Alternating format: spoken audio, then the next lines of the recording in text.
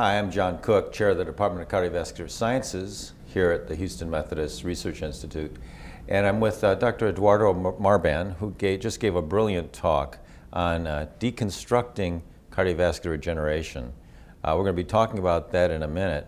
Um, Dr. Marban, welcome. Thank you, John. Um, I wanted to start, before we start talking about the science, which was spectacular, I mean, you, you started from very basic science and, and, translated that basic science into clinical trials, uh, something that we aspire to do here at the Houston Methodist Research Institute. Um, tell us a little bit, before we get into the science, tell us a little bit about um, how you got to where you are right now. You did your training at uh, Yale, most of your early training, and then you uh, were a professor at Johns Hopkins, uh, and then left for Cedars. Uh, tell us about what, what was uh, responsible for that decision to, to leave Johns Hopkins and then start the uh, Cedars Heart Institute. Well, um, I had, as you mentioned, I had been an MD PhD student at, uh, at Yale. I had been fortunate to work with uh, Dick Tsien, who's uh, now in the National Academy of Sciences, and with his brother Roger, who went on to win the Nobel Prize in, in chemistry. Mm -hmm. um, and my first paper was a first author full-length article in Nature, and I thought, this is the way everything works. so that was a an excellent patrimony to take into uh, postgraduate clinical training. I went on to Hopkins and started as an intern and uh, left there having been chief of cardiology for, um, for several years. The opportunity um, at uh, Cedars Sinai to create from scratch uh, a new uh, heart institute was compelling for various reasons. First of all, Cedars Sinai had a great legacy in having been the home of Myron Prinzmetal and Eliot Corday. Uh, Eliot Corday was one of the founders of the American College of Cardiology and one of Eisenhower's uh, cardiologists. And Prinzmetal, of course, epidemic uh, syndromes and quite a thought leader. And then um, uh, Jeremy Swan was recruited there from the Mayo Clinic, teamed up with this professor who had been at Cedars for some time named Willie Ganz, and together they created the Swan-Ganz catheter. Mm -hmm. This mm-hmm. is uh, in the 80s and 90s, and as um, as I was a cardiology fellow in training, I got used to the uh, uh, the experience of opening up the New England Journal and seeing uh, often a lead article there by Jim Forrester or Swan and Ganz establishing the basis of the fourth heart sound using um, hemodynamic monitoring to uh, assess the efficacy of vasodilators, et cetera. So a lot of the seminal work on hemodynamics uh, at the bedside was done at Cedars in the 80s and 90s. So I, I knew the place. I knew its proud legacy.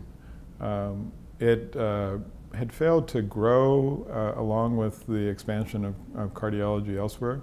So when I, um, when I interviewed there and looked at the opportunity, I saw it as a growth opportunity with a fantastic legacy, very entrepreneurial leadership that uh, could set us up for success. And um, uh, what I additionally found attractive about the opportunity was the fact that it was uh, not directive. It was not stepping into a position that already existed. Um, so many of the important leadership positions are taking over something and hoping you don't screw it up. Mm -hmm. And this was uh, an opportunity to do something from scratch and try to actually propel this um, institution with a proud legacy into uh, a prominent leadership position uh, in the present, and uh, I've had some some luck in doing that. And you've certainly done that. Uh, Cedars Sinai now ranks number three in the U.S. News and World Report for uh, cardiovascular.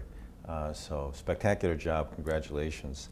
Um, Let's talk a little bit about the science uh, that uh, you introduced us to today, your work with cardiospheres. Um, you showed us that these cardiospheres have remarkable regenerative properties, um, and it appears that uh, a lot of it has something to do with the exosomes that they release. Maybe you could expand on that a little bit. These cardiospheres cells, cardiosphere-derived cells, and the exosomes they release and the regenerative effects of those? This journey started um, maybe 14 or 15 years ago. We were looking at stem cells from um, embryonic sources, real pluripotent stem cells as candidate cells for creating biological pacemakers. And um, at the time, as we were studying these, as I realized how uh, conceptually and theoretically appealing they were, I began to realize that there were a number of translational obstacles to actually using them for hu human therapeutics.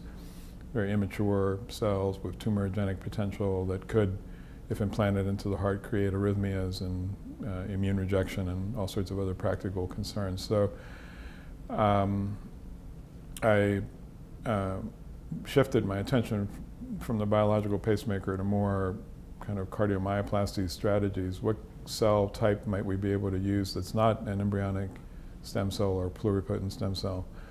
And we um, uh, started thinking about this at about the time when there was a lot of intellectual ferment in the field and multiple independent labs described some kind of cardiac progenitor cell, putative cardiac progenitor cell.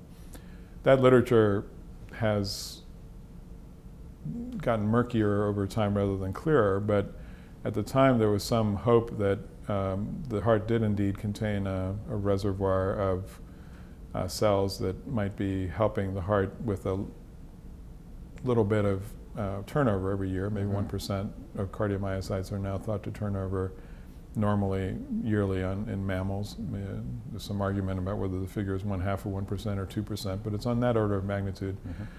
It's not very big, but the idea would be that maybe if there are cells in the heart that support that turnover, Mhm. uh, that uh, one could amplify them ex vivo and put them into regions of injury and perhaps tilt the balance away from uh, fibrosis and towards repair.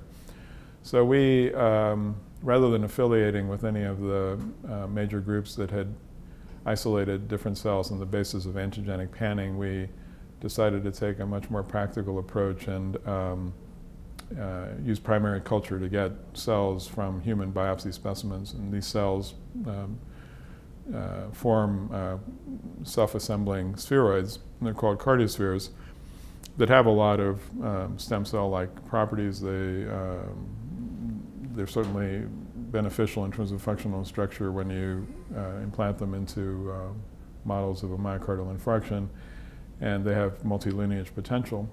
So we created a recipe for making that in sort of a clinically friendly way from endomyocardial biopsies.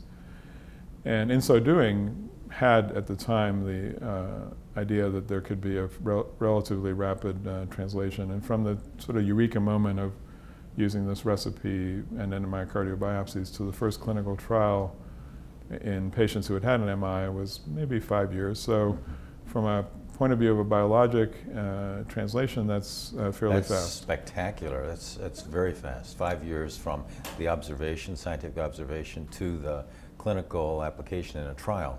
No, it was fast, and we were lucky because um, in um, many cases where you have good proof of concept data in animals and you get into human beings, things don't work out that way, or there's safety concerns. Certainly, the lessons of early uh, gene therapy uh, haunted us, and um, the first uh, infusion in a human being was being filmed live by CBS News, and so, so the stakes were not exactly low. But luckily, everything worked out well from the safety point of view, and um, and now, as I reviewed in the in the lecture uh, earlier today, there's um, uh, some hints of efficacy.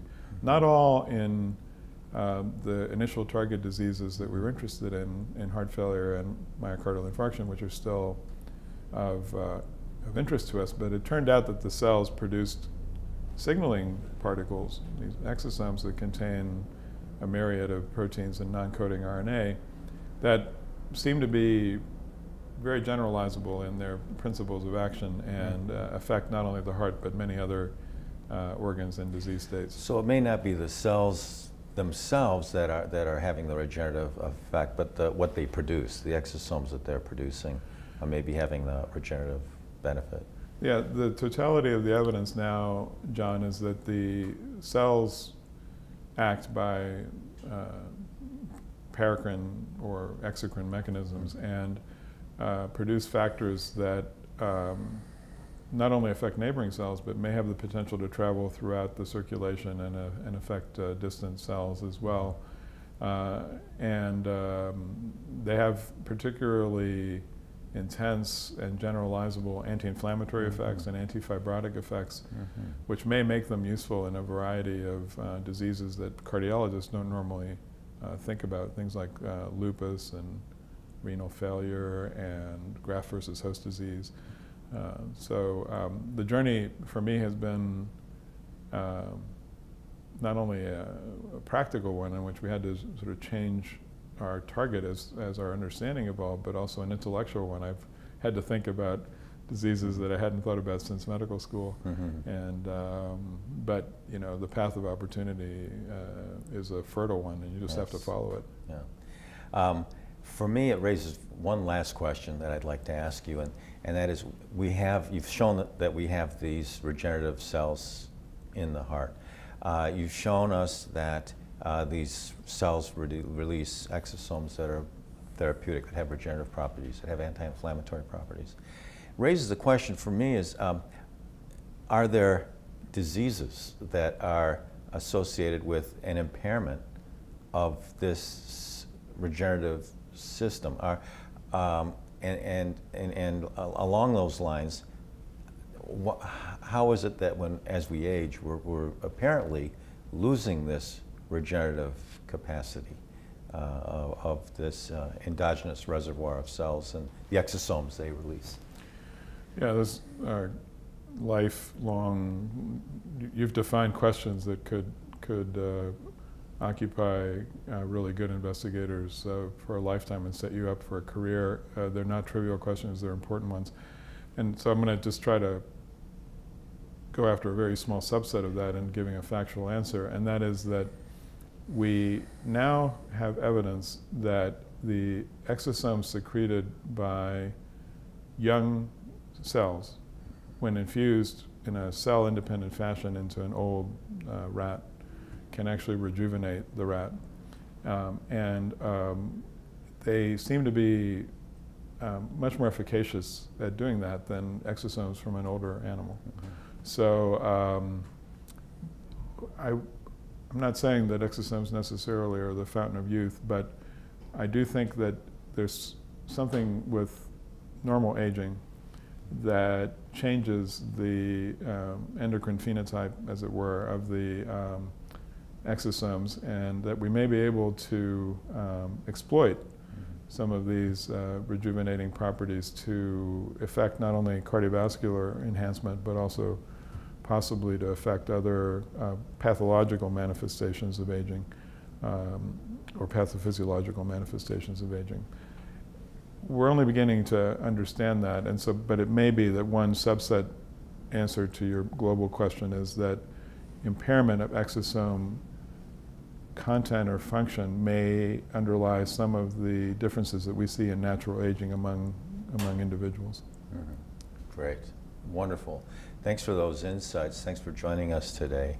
My Uh, and- And this will conclude our interview. Thank you so Thank you, much. John. Yeah.